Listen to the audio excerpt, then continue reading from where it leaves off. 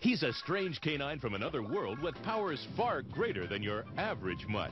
He's Wonder Dog, available now for the Sega CD system from JVC. Criado pela Core Design e lançado pela JVC em 1992, Wonder Dog para Sega CD conta a história de um cãozinho do planeta K9 que, no melhor estilo super-homem, foi enviado à Terra em sua pequena nave. Assim que aterriza, é encontrado por um menino e logo fazem uma amizade.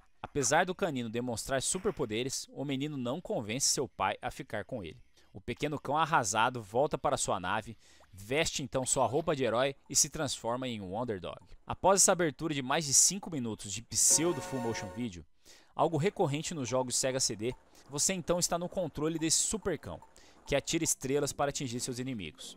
Um jogo bem divertido, mas apesar dos gráficos bem coloridos e suas excelentes músicas, o jogo peca na jogabilidade escorregadia e falta de dificuldade.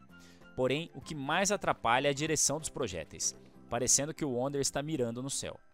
A cada fase você vai de planeta em planeta até voltar a K9 para tentar libertar seu povo do vilão Pitbull. Uma curiosidade sobre a abertura do jogo. A nave do Underdog é em formato de osso, mas ao cair na terra ela fica metade soterrada, parecendo uma genitália masculina.